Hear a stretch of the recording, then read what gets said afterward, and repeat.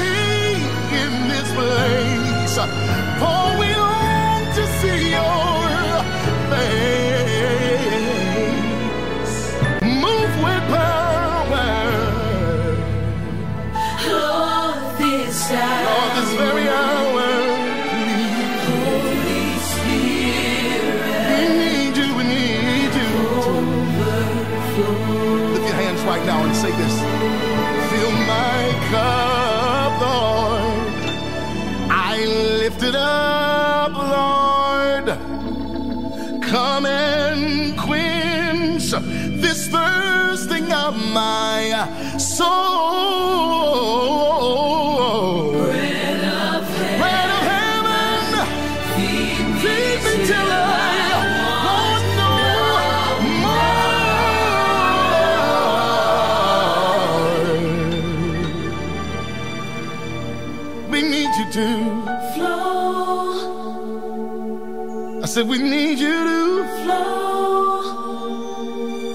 desire you to. flow, I want you to. flow, I realize I can't make it without you. flow, Breathe in my life. flow, Take what's wrong and make it right. Repair me and share me with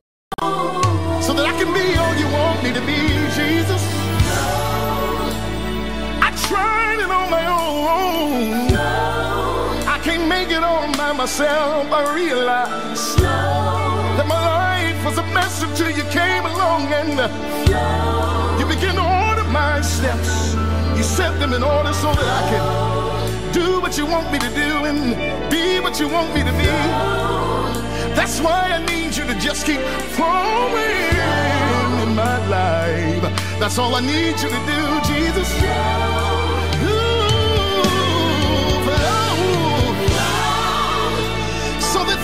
Things can change and be right. So that everything that's night will be light.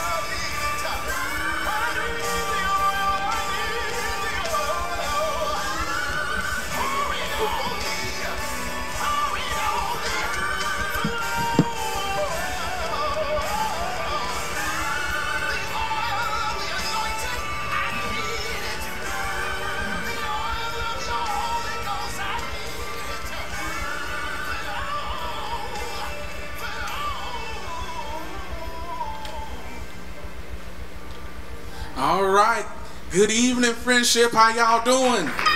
Can we go ahead and give God a hand clap of praise? Can we go ahead and bless Him for bringing us all the way from January 1st all the way to December 31st, 2022? Did He keep you? Did He bless you? Hey, man, did He heal you when you were sick? Did He feed you when you was hungry? Did He give you shoes on your feet and clothes on your back? Amen. You ought to bless him, bless him, bless him, bless him. Hallelujah. Hallelujah. We're going to go ahead and get started tonight. We come to give God a high praise. We want to bless him for the things that he's done, but we're going to have a good time doing it. Amen. Amen. Hallelujah. I like that. Go ahead and bless him.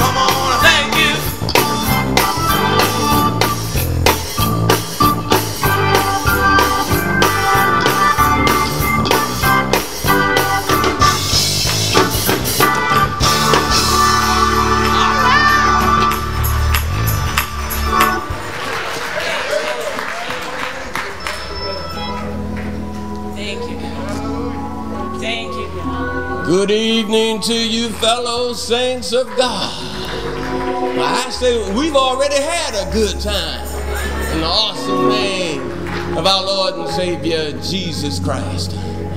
I'm delighted to greet you here tonight on this last worship service of the year 2022. Oh, yes, we, we can give the Lord a hand clap of praise for that.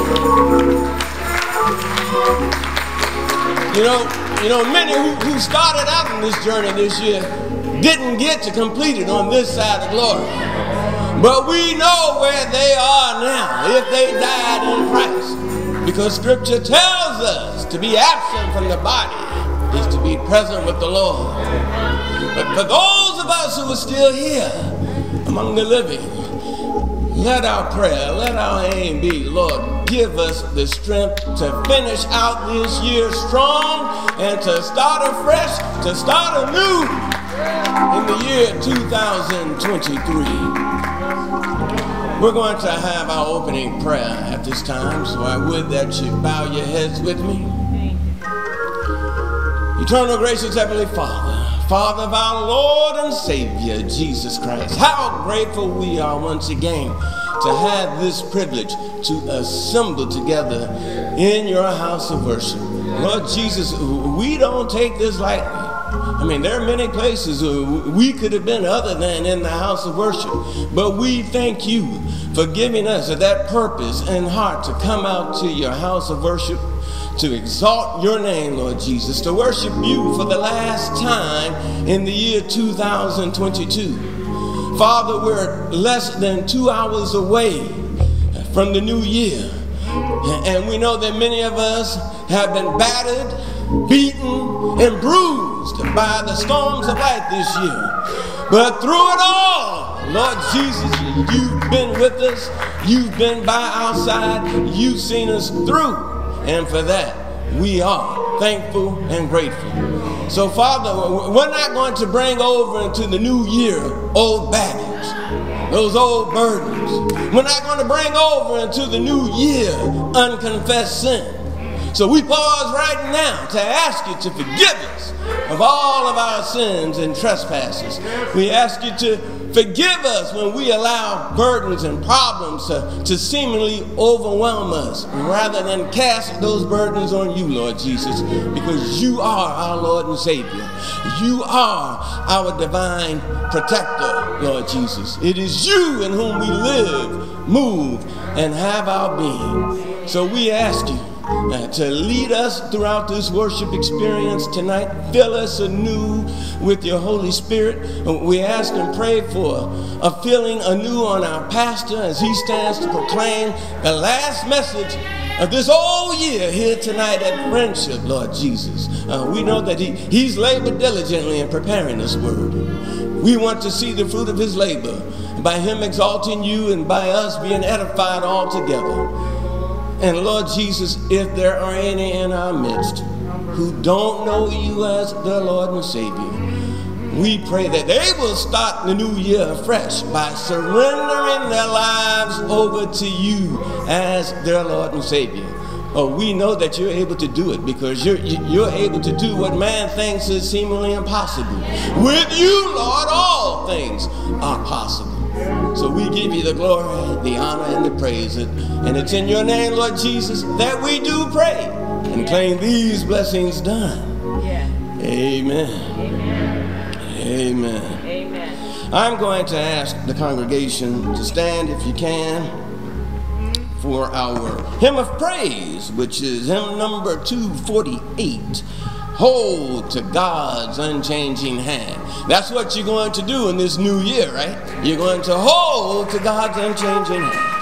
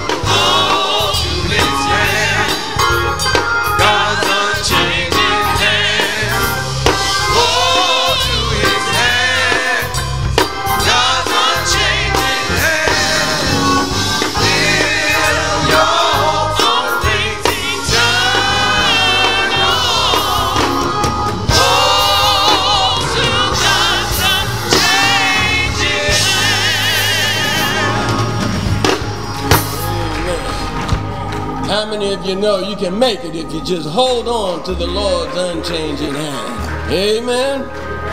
Amen. Praise God. Praise the wonderful name of Jesus.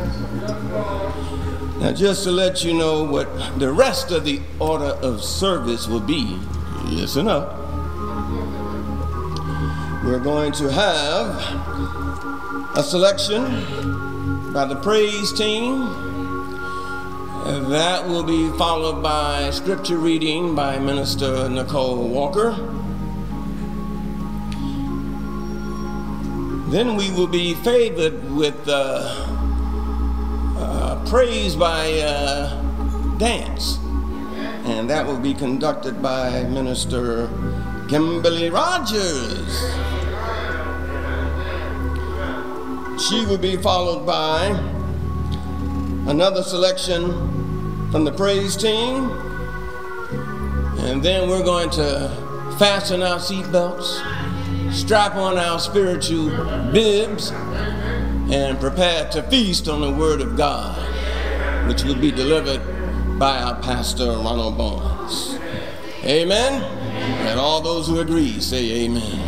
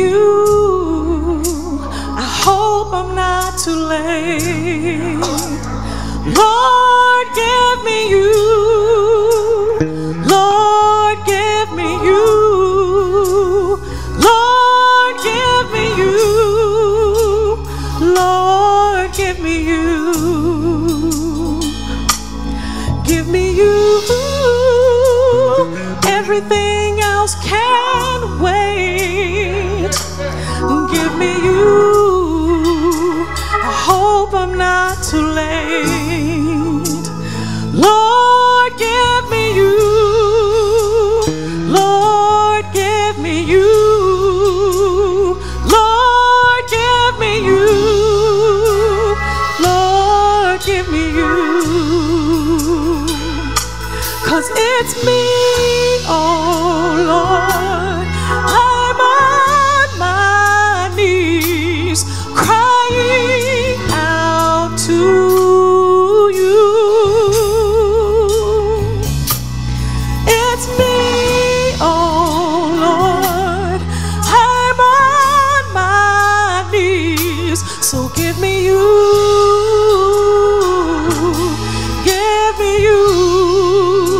Me you. Give me you. Everything else can wait.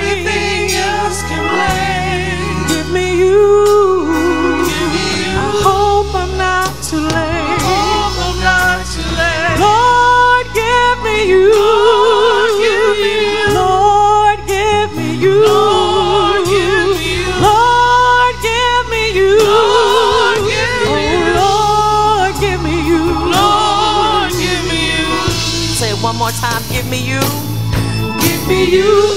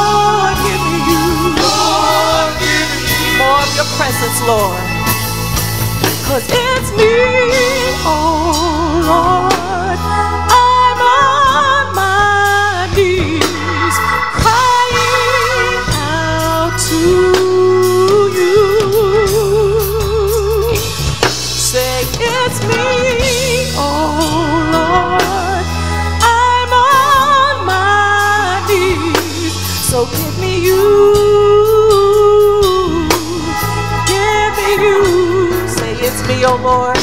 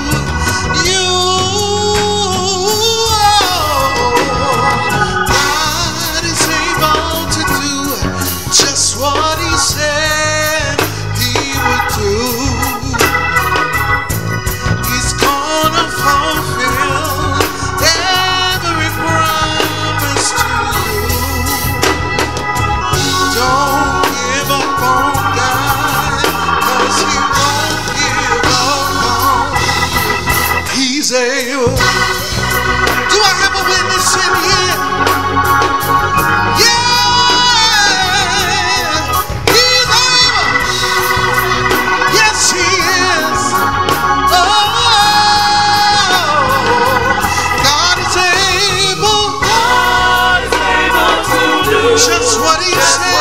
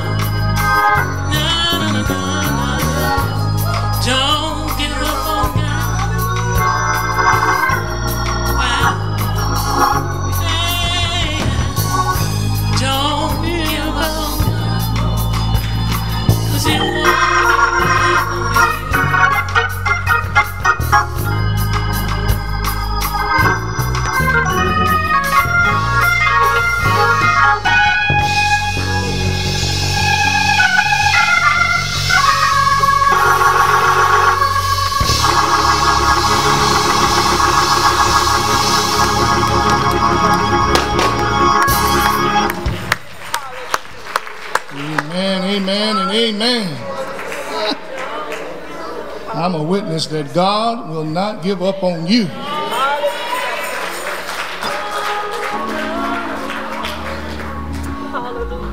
No matter how bad we are, no matter how many messes we make, He never gives up on us.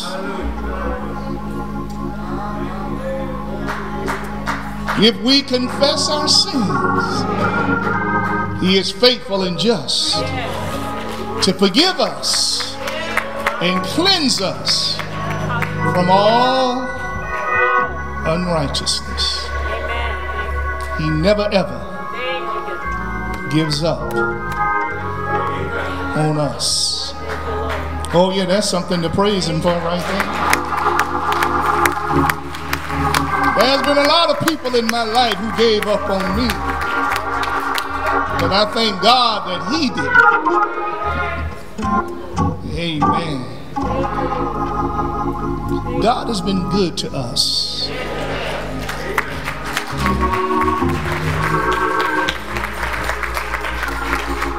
All throughout this year, He has been good. The deaf angel has been riding. Many who were with us at the beginning of the year have gone on to glory. But in spite of all of that, God has still been good to us. Hallelujah, Jesus. I don't know, maybe there are one or two people in here that would like to just share a word of testimony. Just a few minutes. If, if there's anybody that would like to just share what the Lord has done for you this year and how He has how He has brought you over, brought you through, and, and made a way where you thought there was not going to be a way.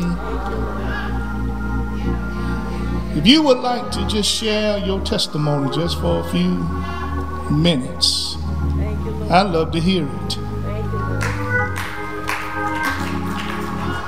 Come on down and go there.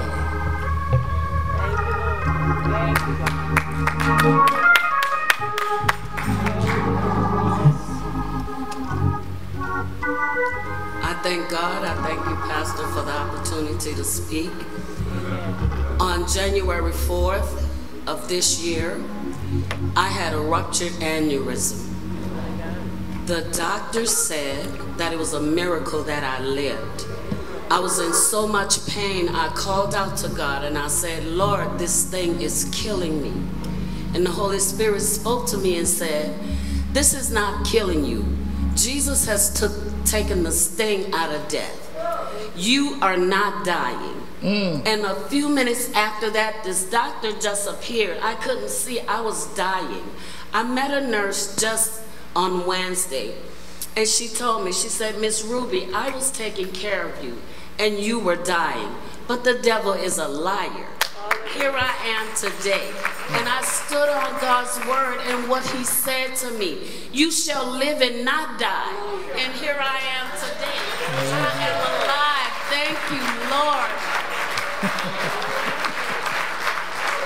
Glory be to God. Amen.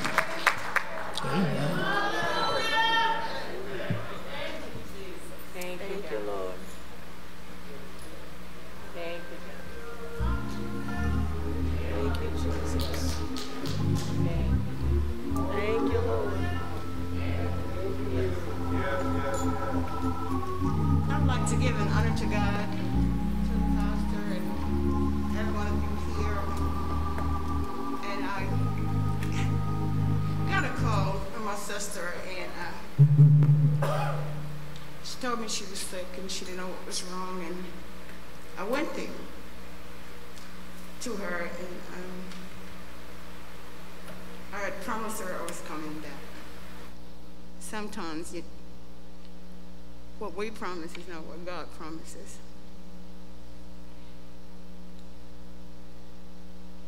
I got here and my plan to go back was right around the holidays, Thanksgiving holidays. I think it was November 22nd. And I was in my house, and my younger son, he had flew home from New York, and I walked into his room. And I said, honey, I'm feeling like I've never felt before. And I felt like I was going to collapse into the room. And he had this watch that he put on my arm. He said, Mom, your blood pressure is like 140 something. I felt like I was walking in something very thick, and my body was moving. And I walked into the dining room, and my husband, he was sitting there at the table, and I said, honey, uh, uh, maybe we should call 911. I said, well, I don't want to go to that hospital. I don't like it. I didn't like the Duluth hospital, but God has his own way of doing things. So I told him, make a long story short, he dialed 911. And the watch on my, on my wrist went to atrial failure. My heart was beating so fast, it felt like it was beating out of my chest. My blood pressure was so high. When they got me, they took me into the ambulance, and I think I shared this.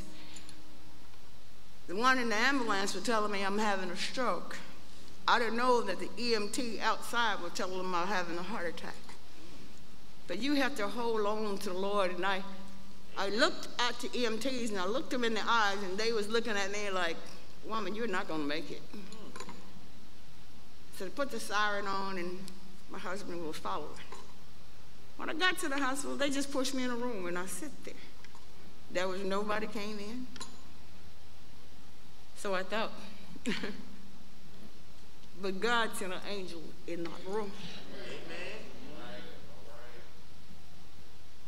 And my daughter came and she sat by me and she said, Mom, you have been near death. How many times? And she told me, she said, Mom, God got you here and He wants you to move. And you got to do something. Because He's not leaving you here for a reason. And so God showed me a young man that was hungry one day, and I just gave him the money, and I was washing clothes, the money just kept falling out that I gave him. So I'm walking in God's way. I'm just going to tell you, I did not have a heart attack. I did not have a stroke. And I came home the same day.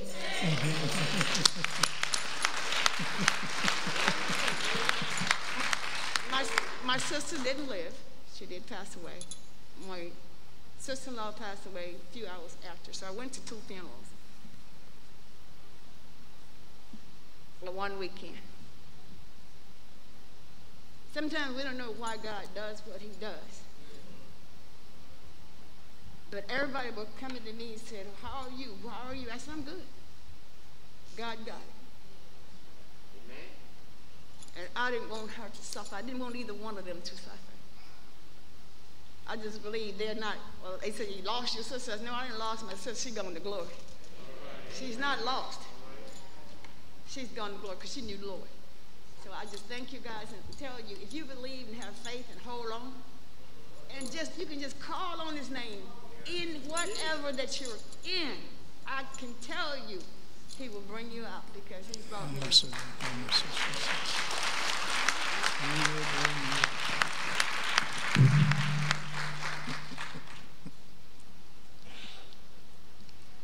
Praise the Lord, saints.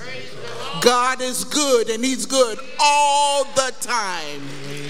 2019, New Year's Eve, my husband and I were preparing for watch night service. I looked at him, I said, Ken, I don't feel well.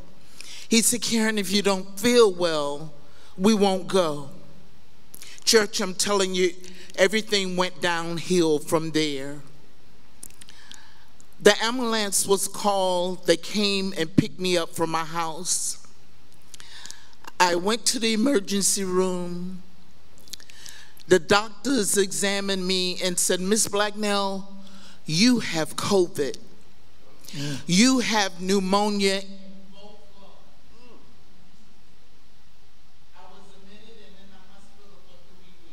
But let me tell you something tonight, church.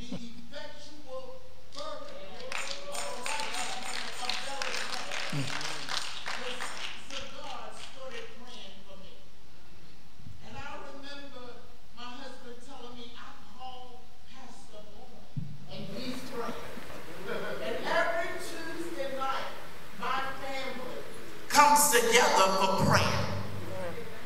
My 95-year-old mother is on that prayer call every Tuesday night at 8 o'clock praying. When she heard I was in the hospital, she had the family to call a fast. Let's fast and pray. On my sick bed, I'm going to tell you tonight, I did not think I was going to make it. But I think about the song, Millions didn't make it, but I'm one of the ones who did. Millions died of COVID. Mm. But I stand here tonight giving glory and honor to the Lord. I prayed, I prayed, and I told God, I got a whole lot more living to do. And I believe He heard my prayer. Church, I stand here tonight to tell you if God is for you, He's more than the whole world against you. Hold on to His unchanging hand. amen Hallelujah, Jesus.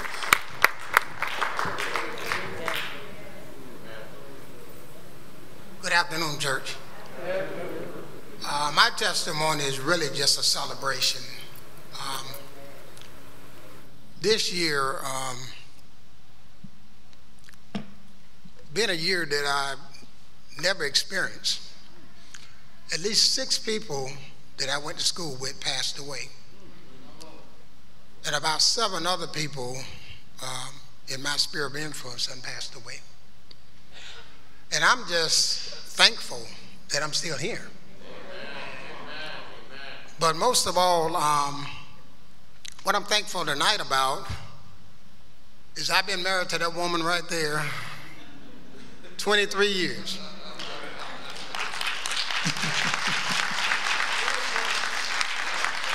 we got married back in 2000 when everybody thought the world was coming to the end, the clocks were going to stop.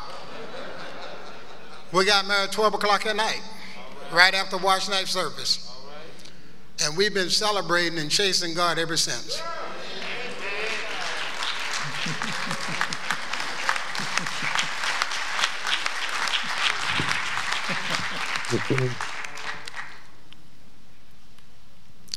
Good evening, church. I'm not standing here to do the announcements that I usually do. I'm standing here with a spirit of gratefulness. I'm standing here in a spirit of joy. I'm standing here in a spirit of peace. This exact day last year,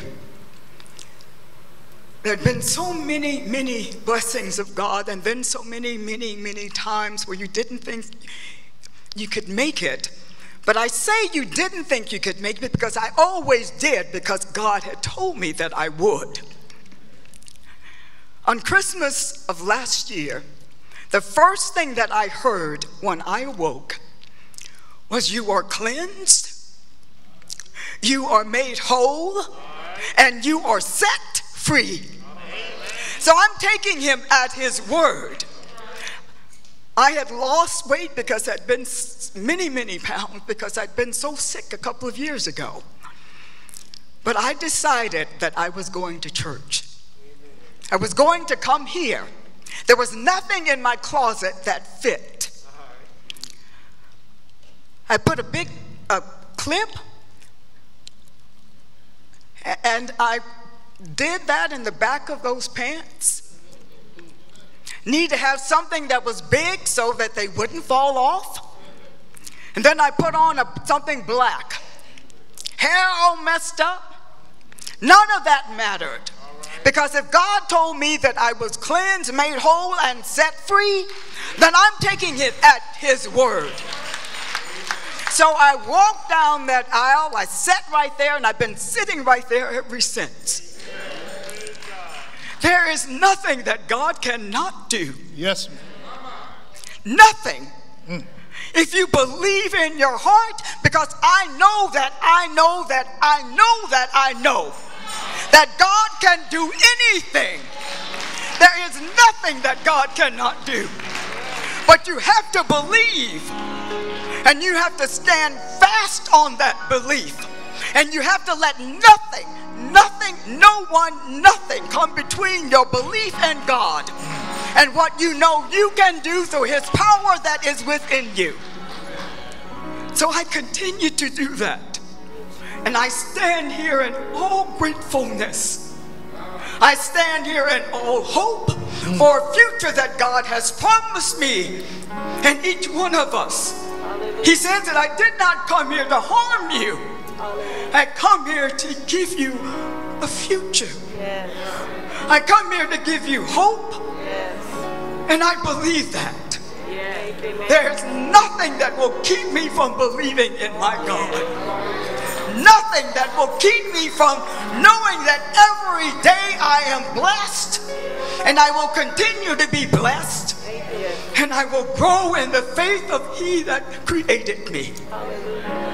Church, I love you. And it's with everything in my heart that I stand here and say that. From the pastor, the deacons, every member, everybody that is here, I say thank you. Thank you. There is a God, y'all. There is a God. He is a loving God. He is a faithful God. Yes, yes, yes. And He loves us all. Yes, Lord. All He asks is our trust and that we believe in Him and that we have a belief that does not fail. A belief that does not fail. And I'm here today, standing here today, only because of that belief in Him and His amazing grace. So I say, hold on. Hold on. Don't let go. Hold on. Thank you.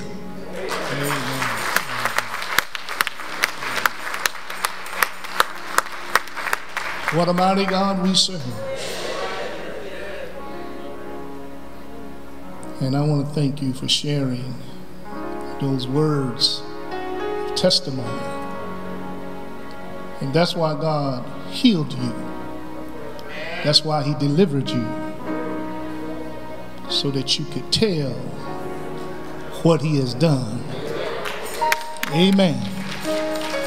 Every chance you get, run and tell somebody about the goodness, the grace of God.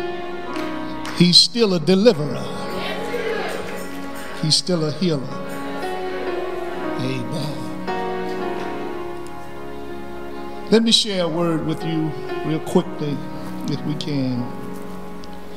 Out of the Old Testament book of 1 Samuel, chapter 1, verses 12 through 16. And the Word of God says, And it came to pass, as she continued praying before the Lord, that Eli marked her mouth.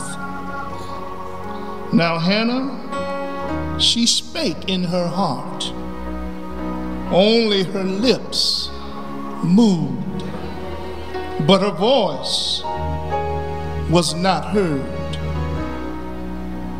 Therefore Eli thought she had been drunken. And Eli said unto her, How long wilt thou be drunken?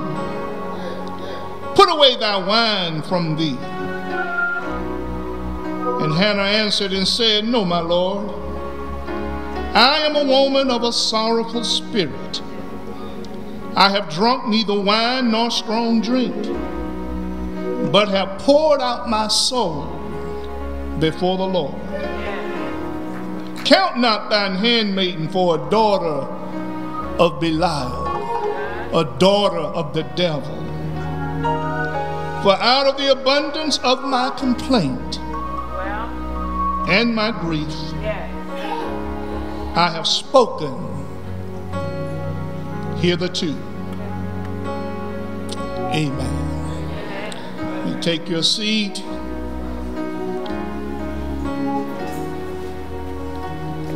From these verses tonight, for a few minutes, broken to be a blessing.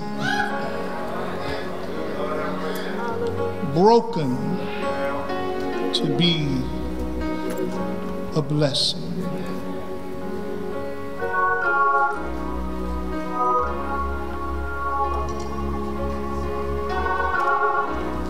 Yeah.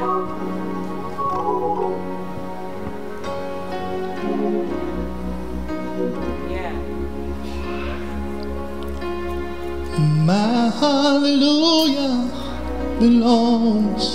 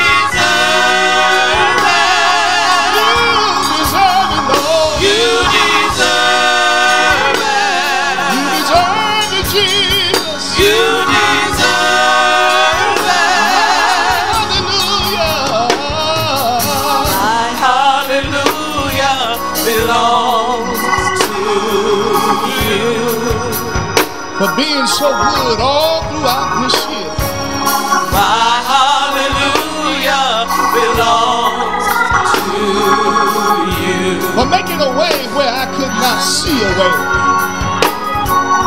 My hallelujah belongs to you. For healing my body when I got sick. Yeah. My hallelujah belongs to you.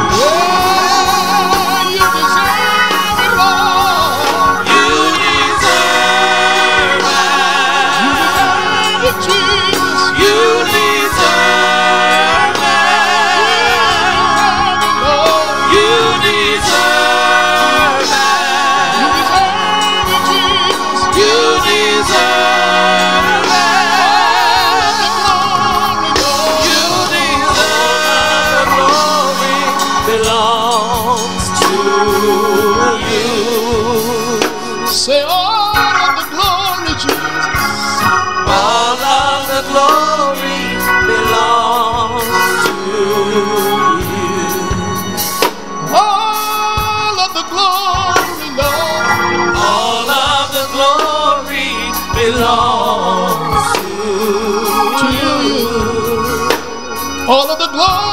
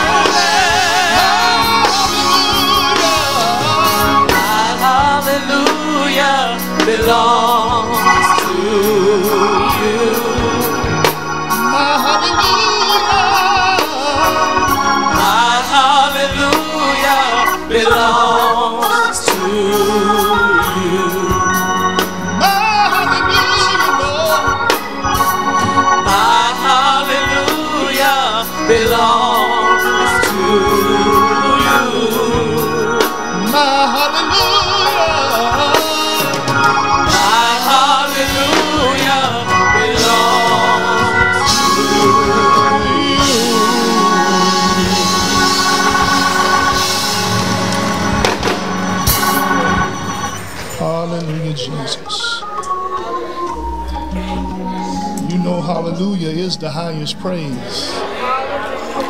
And he deserves the highest praise for all that he's done.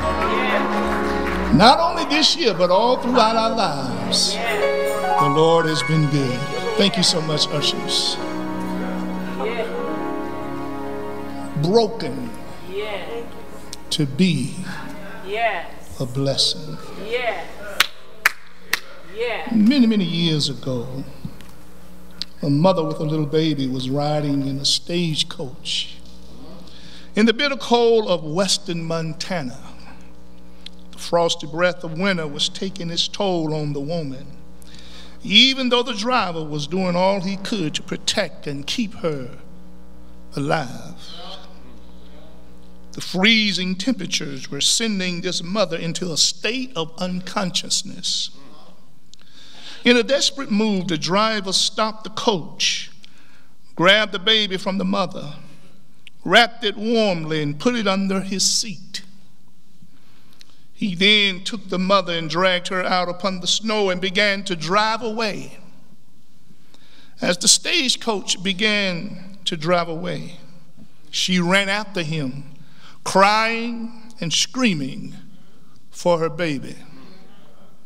When the driver saw that she was warm, he allowed her to catch up with the coach and resume her place with her baby. By doing this, he shocked her out of her tiredness and sleepiness to wake her up and keep her alive. My brothers and sisters, God does the same for us. God sometimes uses trials and trauma to wake us up spiritually. That's exactly what he's doing with Hannah in our text tonight. Sometimes God has to shake us, to break us, to bless us.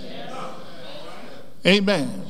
I believe this whole pandemic has been God shaking us and breaking us in order to bless us so that He might use us. Amen. Some of us seem to be getting what God has been doing, and some of us seem not. But the shaking and the breaking will continue until we get what God is doing. Hannah was a woman who was broken, burdened, bitter. She was discouraged, depressed, and deeply hurt. Her circumstances were controlling her. And sometimes, my brothers and sisters, when we get so depressed, so discouraged, and we feel so defeat, defeated, our circumstances will begin to control us. We start to act and react out of our hurt, out of our pain. But what is her problem? Hannah is being tormented by Elkanah's, her husband's second wife. Let me say that again. She is being tormented by her husband's second wife, Penaniah. Hannah is mocked for her barrenness in childbearing. And she is envied because she is the favorite of her husband's two wives. I can't imagine how that would be, but think about Hannah for a minute. Think about being the second woman. Nobody wants to be second fiddler. Amen. Uh, uh, uh, everybody want to be Mike. No, nobody want to be Tito or, or, or, or Jermaine. They want to be Michael. Amen. But here she was. She was favorite of the two. But she is tormented by his favorite wife. Hannah was a woman fit to bring up children, but she has none. Penaniah, her husband's second wife, was a woman whose character and temper was fit to ruin children, yet she has many children. God has closed Hannah's womb. He's been breaking her. But now he's about to open her womb and bless her. In the text, in verses 12 and 14, we see the priest or the preacher.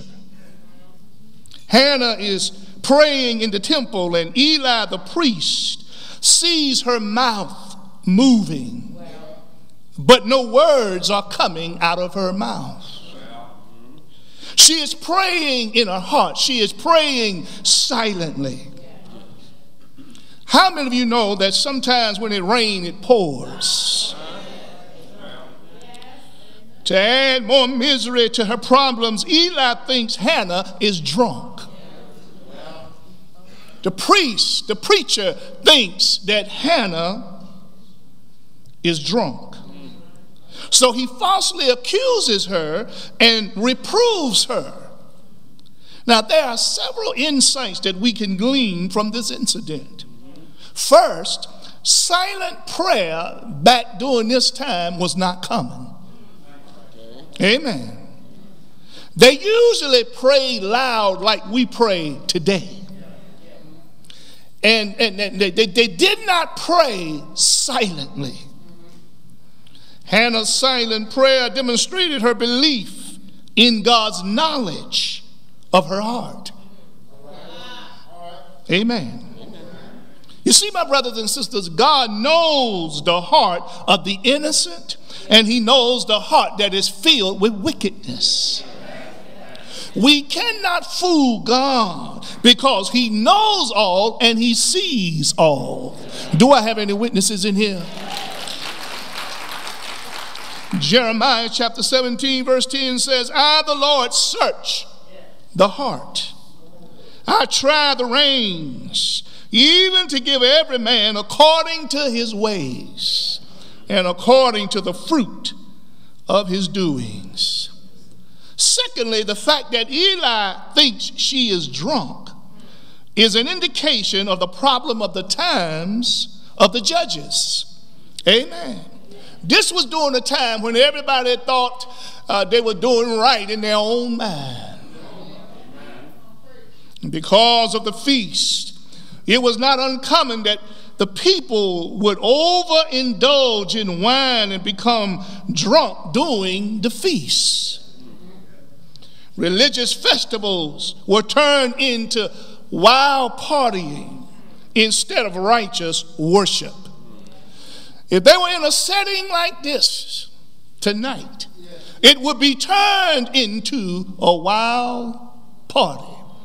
And everybody would be drinking, and some would be dancing, and some would be saying, ooh, ooh, ooh. I thought y'all could relate to that. Now, some of y'all gonna leave here and go somewhere and say, ooh, ooh, ooh.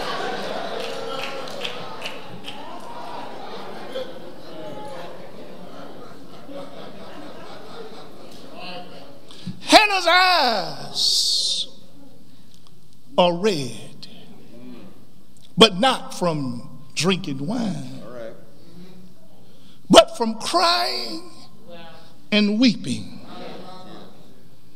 Many a depressed people will turn to liquor to try and drown out their sorrows, only to find that sorrow is a good swimmer, not easily drowned.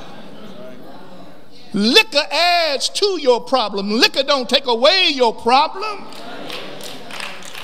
I've said this many times and I'll say it again. Nobody holds the liquor like the bottle. The bottle can hold it all day and all night, all year, never stagger.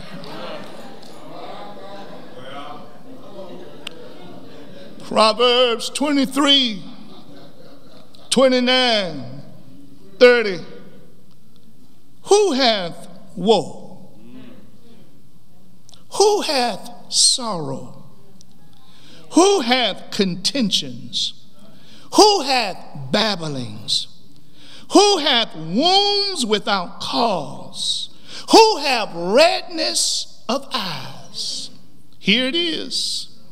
They that tarry long at the wine, they that go to seek mixed drinks. Who have woe? Problems Hmm? Who have sorrow? Who have contentions? Who is fighting? Who is babbling? Somebody who has spent too long with mixed drinks. They're talking, but you can't understand the words that are coming out of their mouth who have wounds without cause. Somebody who spent too long. They failed and didn't, didn't even know they failed. They busted their lip and don't even know their lip is busted. He says, Who have red eyes? They that tarry long at the wine. Do you see why I say nobody can hold it like the bottle?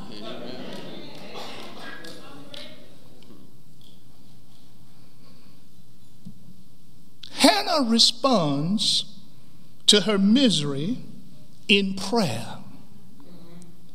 And she provides a good example for us if we get down in the dumps. If you go down in the dumps, don't turn to the bottle. Take a lesson from Hannah. Take it to the Lord in prayer. Eli assumes that Hannah is drunk. Notice her response to Eli, the preacher. In verse 15 and 16, you see her response, and it's a polite response. This lets me know that Hannah wasn't drunk. because she has a polite response. Hannah's response was, No, my Lord. She respectfully clears up the understanding, the misunderstanding, and she vindicates herself. She illustrates the truth of Proverbs 15 and 1 a soft answer turneth away wrath, but grievous words stirs up anger. She tells Eli she has a sorrowful spirit. And the word sorrowful means deeply troubled and burdened in spirit. Hannah tells Eli to not consider her a daughter of Belial or a daughter of the devil. Hannah could have been very angry and hateful and used grievous words toward the preacher.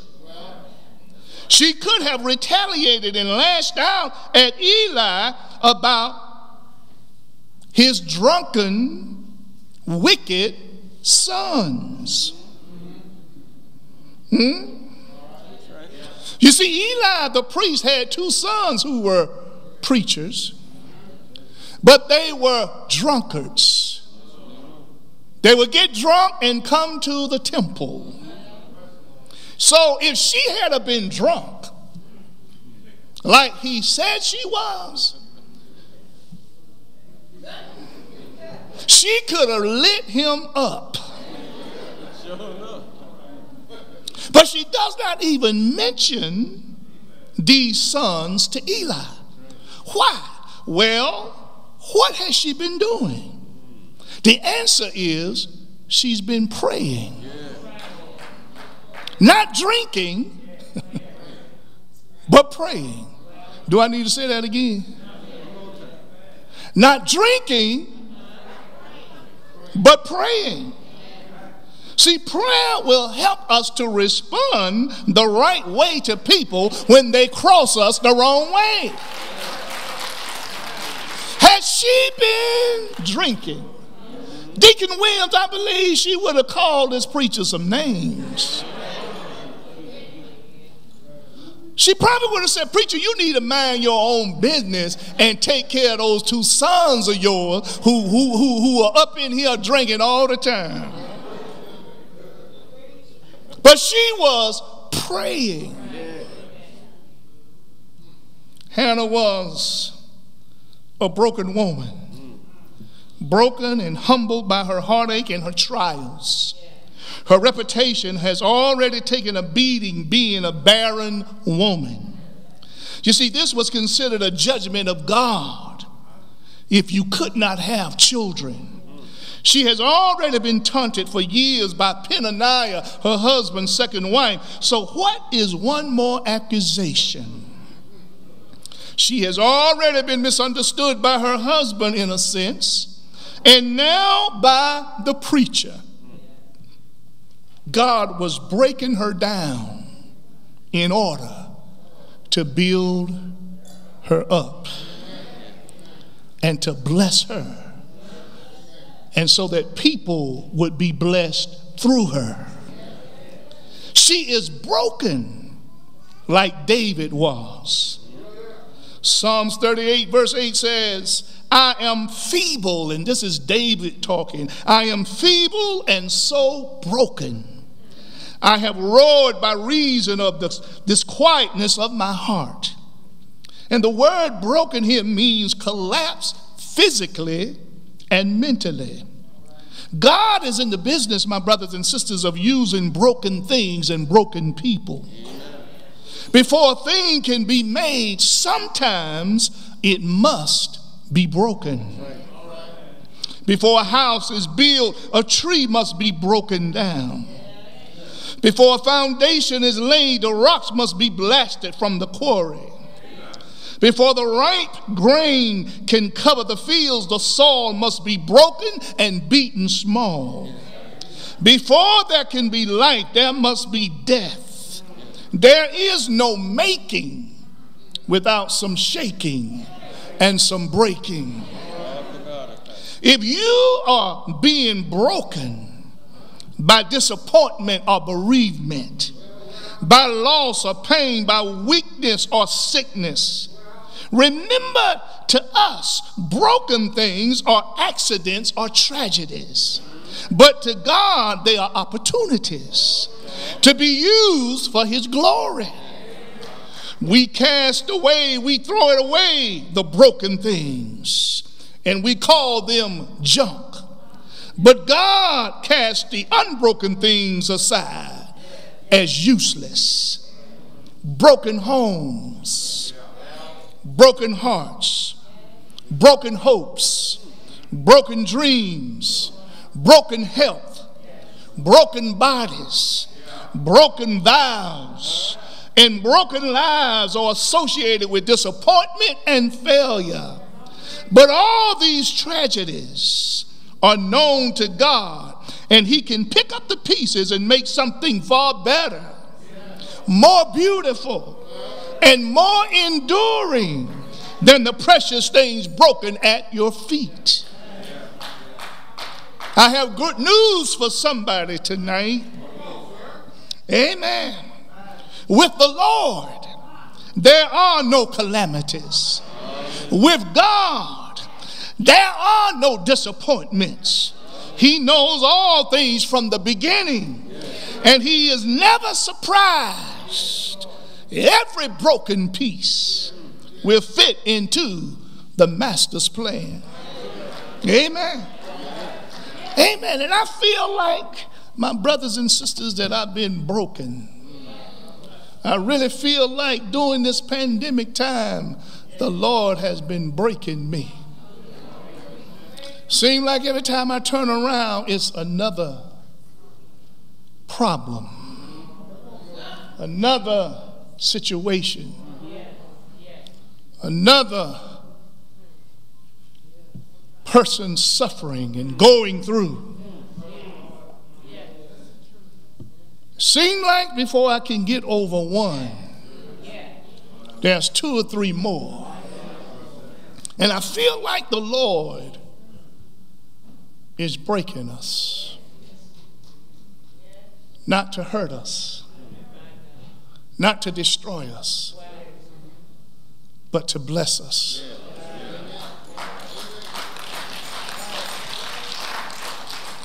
If your life is being broken tonight, realize that God knows all about it.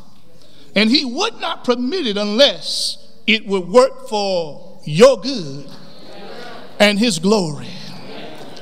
If you have been broken, God is working with you. God makes what He breaks, and He breaks only what He wants to make. He is making something which will astound you with His wisdom and beauty someday. That is what the Lord is doing in the life of Hannah.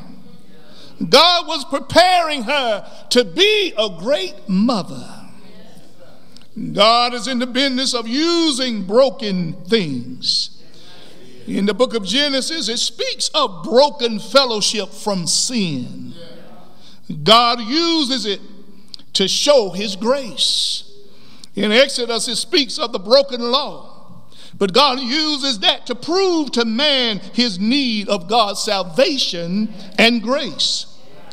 The broken and contrite hearts of the Psalms used to show God comfort towards us.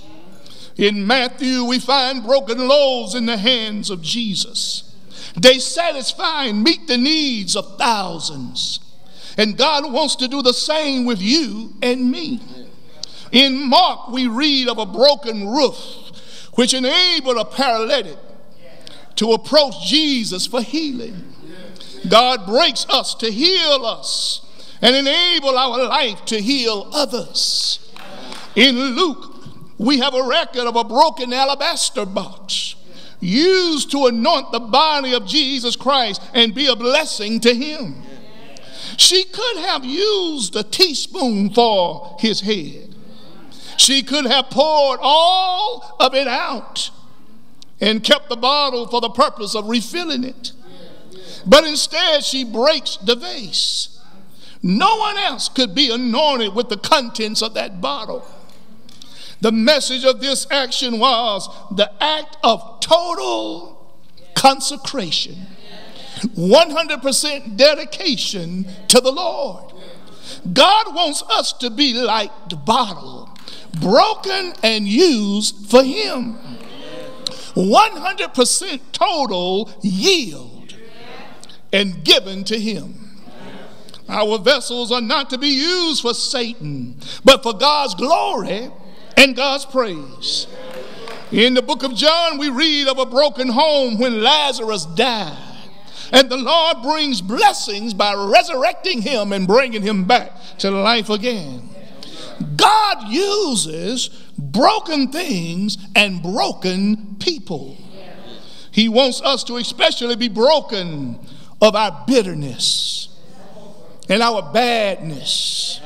The Lord desires to crush us, amen, of our covetousness, our carnality, and our critical spirits.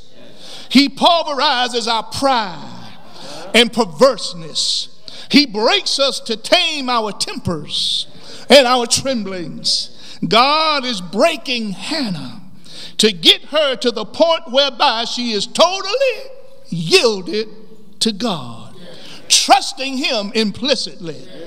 God broke her to use her mightily. Notice in her brokenness, she turns to the Lord for comfort. And that's what God wants us to do too. He has not forsaken you. Psalm 34, verse 18 The Lord is nigh unto them that are of a broken heart, and saveth such as be of a contrite spirit. Psalm 147 and 3 He healeth the broken in heart, and bindeth up their wounds. The word broken here means to burst, to crush, to bring to birth. God is trying to birth a new thing in us, a new hope in us, a new trust in us. A broken heart gives birth to humility, to dedication, to service, to concentration. That is what the Lord is trying to accomplish in us.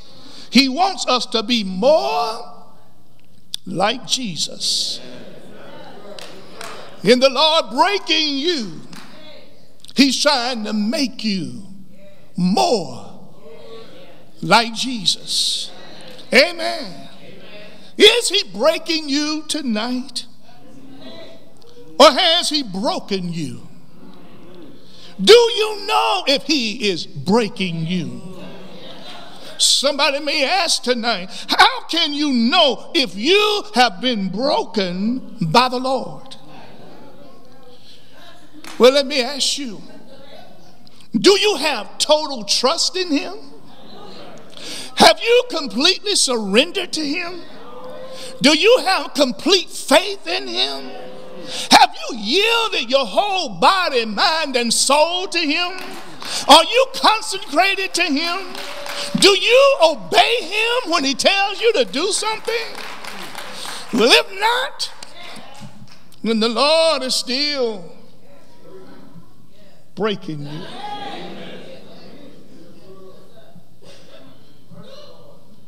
He is still breaking you. He's trying to get you to the place to where you just simply obey.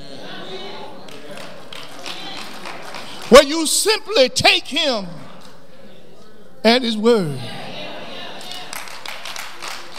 When he say jump, you say how high. When he say go, you say which way. He's trying to get you to the place to where you lean not to your own understanding, but in all your ways acknowledge him so that he might direct your path. He's trying to get you to that place where you trust not in the counsel of the ungodly, nor stand in the way with the sinner, or sit in the seat with the scornful. But your delight is in the law of the Lord. And in his law do you meditate day and night, so that you might be like a tree planted by the rivers of water, bringing forth your fruit in due season. He's trying to get you to that place to where you believe, not because you see, but because he said it is so. And then you walk with him, and you talk with him, and you lean on him, and depend on him. He's trying to break you.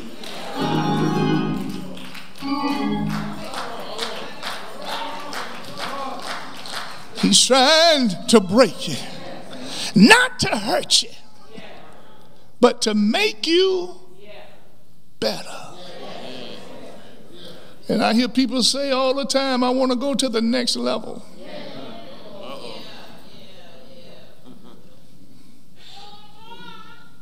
I want the God, I want the Lord to move in my life and take me to the next level.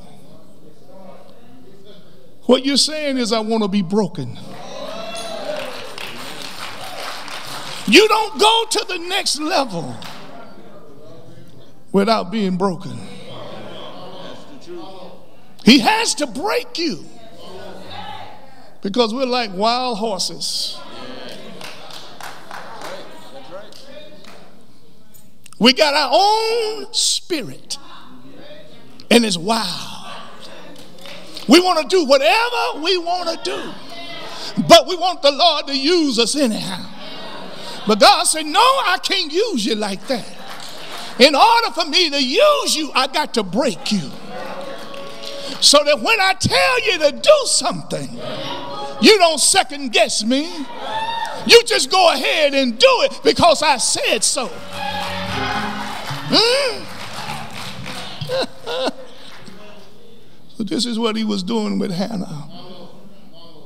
He was breaking her. Watch this. He broke her and then he blessed her. And Hannah gave birth to a son named Samuel. And she brought him to the temple as a little boy. And he served under Eli and served God faithfully. Now, watch this. Even after Samuel was born, God blessed her again and again and again.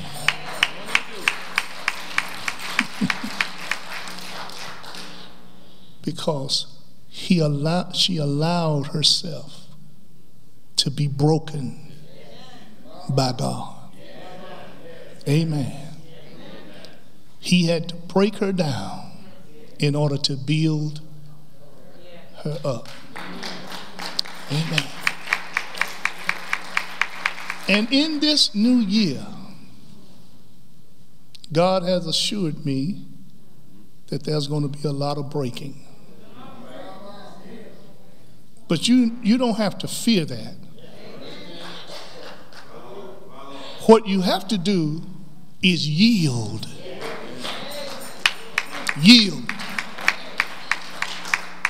Place yourself in the potter's hand and say, Mold me, make me, shape me, break me, whatever you want to do. I'm yours. Hmm? You don't have to fear him breaking you because he's going to make you better as a result. And we all can be better. Amen. We all can be better.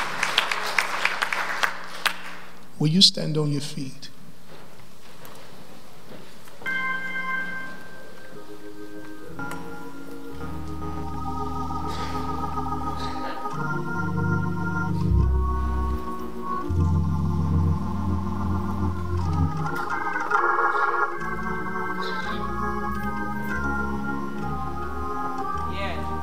The breaking starts when we place ourselves in the, in the potter's hand and say, Mold me, make me, shape me, break me. Do whatever you choose to do, Lord. I'm yours.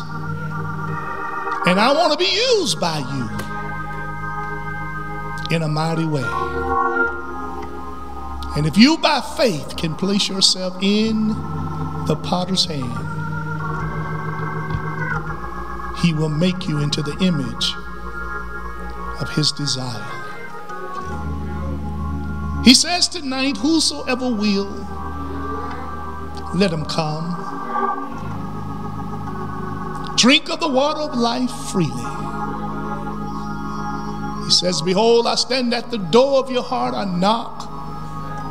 If any man hear my voice and open the door,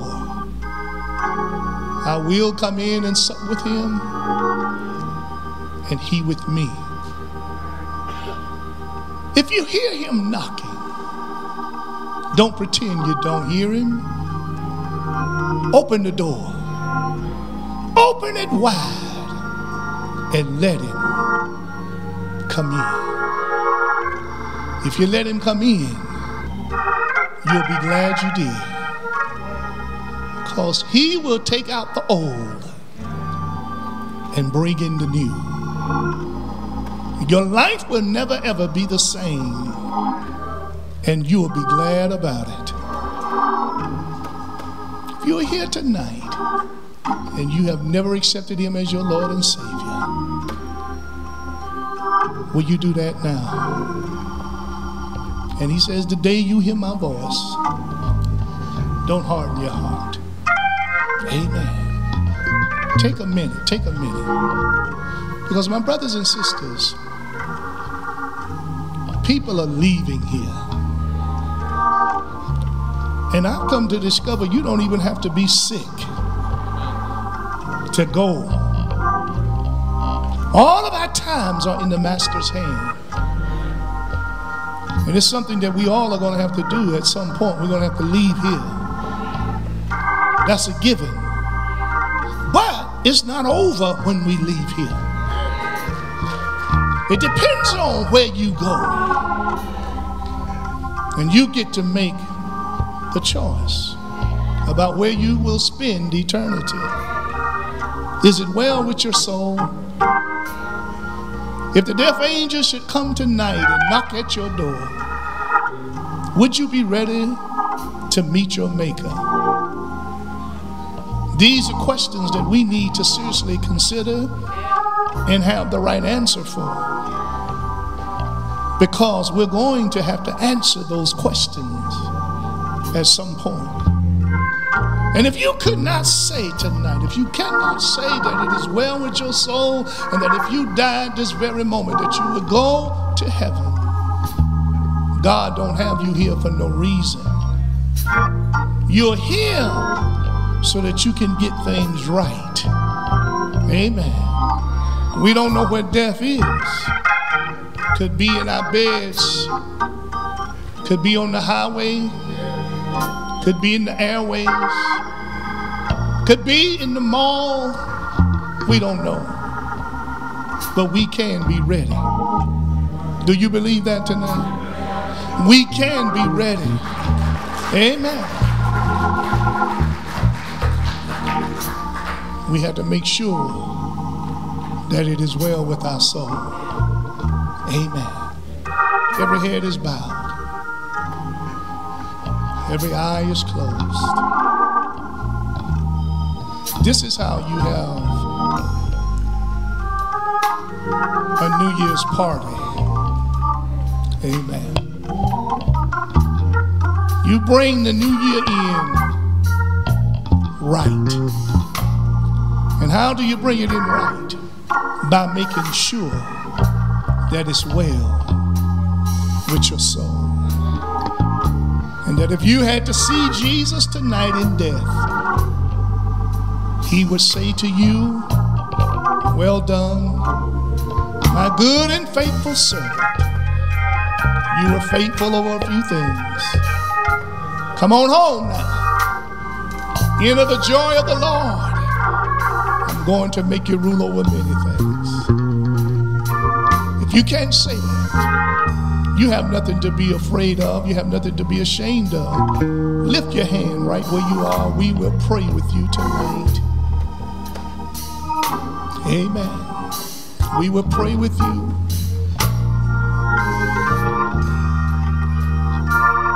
Our Father in heaven, for those who lifted their hands, not sure about their salvation, cannot honestly say that if they died right now, that they would go to heaven. I pray that you give them that blessed assurance that if they confess with their mouths the Lord Jesus, believe in their hearts that God raised him from the dead, they will be saved. Oh God, have mercy upon them. Let them know that you died on the cross for the sin of the world, for their sin, for my sin, for everybody's sin. And if we put our trust in you and our faith in you, we don't have to die and go to hell. But if we believe with all of our heart that Jesus died for us and he rose again, we too can be saved and meet you in that heavenly city, the New Jerusalem. I pray that you give them confirmation of their soul salvation. In the name of Jesus Christ, our Lord and our Savior. Amen. Now I'm going to ask you to come down to the altar. Everybody, keep your mask on. We got a few minutes before the new year comes in. Come on down, keep your mask on. We're going to pray.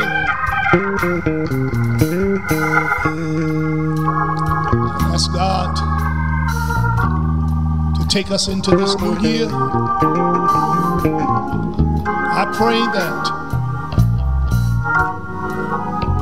we won't take that old baggage with us.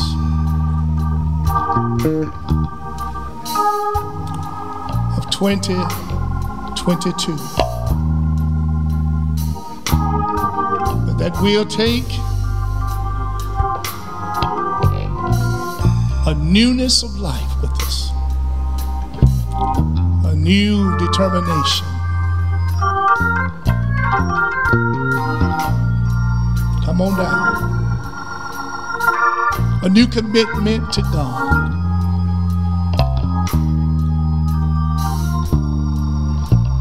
Lord, help us all to do better in this new year than we've done in this past year.